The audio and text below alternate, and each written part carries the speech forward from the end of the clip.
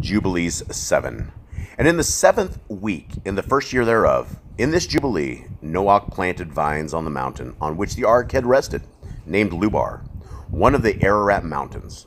And they produced fruit in the fourth year. And he did guard their fruit and gathered it in this year, and in the seventh month. And he made wine thereof, therefrom, and put it into a vessel, and kept it until the fifth year, until the fifth day, on the new moon of the first month. And he celebrated with joy the day of this feast, and he made a burnt offer, a sacrifice unto Yahuwah, one young ox and one ram, and seven sheep, each a year old, and a goat and a kid of the goats, that he might make atonement thereby for himself and his sons. And he prepared the kid first, and placed some of his blood on the flesh that was on the altar which he had made, and all the fat he laid on the altar which he made the burnt sacrifice, and the ox, and the ram, and the sheep, and he laid all flesh upon the altar. And he placed all of their offerings mingled with oil upon it, and afterwards he sprinkled wine on the fire which he had previously made on the altar. And he placed incense on the altar and caused a sweet savor to ascend, acceptable before Yahuwah Eloheinu. And he rejoiced and drank of this wine, he and his children, with joy. And it was evening, and he went into his tent, and being drunken, he lay down and slept, and was uncovered in his tent as he slept. And Cam, and again, I want to go over this real quick because most of you guys don't know who these guys are when it says Cam. Um, but we have Shem, Japheth, and, and Ham. And we have the three kids of Noah. And you will see in this version it's Noach because there, there was no such thing as it, those just weren't the names. So when we're talking about Cam, we know that it is a son of Noah. And Cam saw Noach, his father, naked, and went forth and told his two brethren without. And Shem took his garment and arose, he and Japheth. And they placed the garment on their shoulders and went backwards and covered the shame of their father, and their faces were backward. And Noach awoke from his sleep and knew all that his younger son had done unto him. And he cursed his son and said, Cursed be Canaan, which is the son of Cam. Cursed be Canaan, an enslaved servant shall he be unto his brethren. And he blessed Shem and said, Blessed be Yahuwah Eloheinu of Shem, and Canaan shall be his servant. Elohim shall enlarge Japheth, and Elohim shall dwell in the dwelling of Shem, and Canaan shall be his servant. And Cam knew that his father had cursed his younger son, and he was displeased that he had cursed his son, and he parted from his father, he and his sons with him, Cush, Mitzrayim, and Put, and Canaan. And he built for himself a city and called its name after the name of his woman, Nelathauk. I'm sure I slaughtered that one. And Japheth saw it and became envious of his brother, and he too built himself a city, and he called his name after the name of his woman, Adathanesis. And Shem dwelt with his father Noach, and he built a city close to his father on the mountain. And he too called his name after the name of his woman, Sedeketterva. And behold, these three cities are near Mount Lubar, Sedatelevav, fronting the mountain on its east, and Na Tamak on the south, and Adathanes towards the west. And these are the sons of Shem, Eliam and Ashur, Arpachshad. This son was born two years after the flood, and Ludali and Eram. The sons of Japheth, Gilmer and Magog, and Madal and Yavan, Tubal and Meshech and Thirak. These are the sons of Noach. And in the 28th Jubilee, Noach ben, began to en, enjoin upon his son's house the ordinances and commandments and all the judgments that he knew. And he exhorted his sons to observe righteousness and to cover the shame of their flesh and to bless their Creator and honor father and mother and love their neighbor and guard their souls from fornication and uncleanness and all iniquity. Now, what does this sound like, guys? This sounds like the Torah of today. This is the stuff that we should be doing. That they obviously had a Torah prior to the days of Moshe.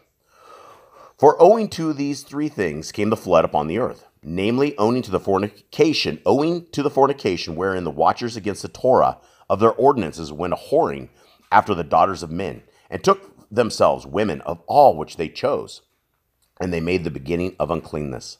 And they begat sons, the Nephilim, and they were all unlike, and they devoured one another. And the giant slew the Nephil, and the Nephil slew the Elio, Elio and the and Elio mankind, one and one man another. So essentially, what you're seeing right here is you're seeing the Watchers.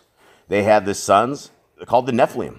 Then the Nephilim, the next generation of them, which were unlike anything out of the man, were the giants. And the giants slew the Nephiel, and the Nephiel slew the Elio. These are all not humans or not creatures created by our, our Father. They're, they're creatures created by His creatures.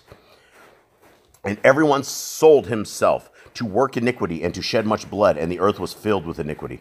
And after this, they sinned against the beasts and birds and all that moves and walks on the earth, and much blood was shed on the earth.